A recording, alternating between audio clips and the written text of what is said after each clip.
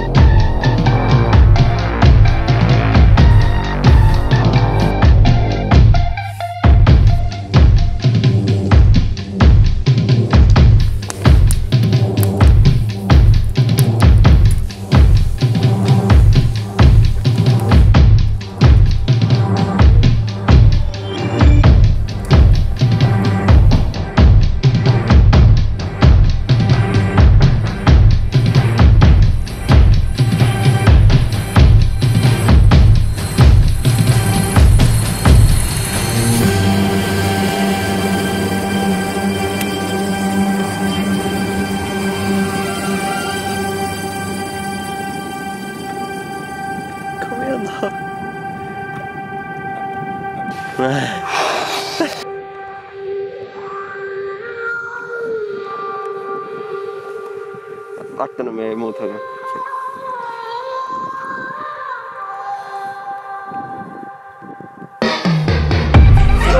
Thank you.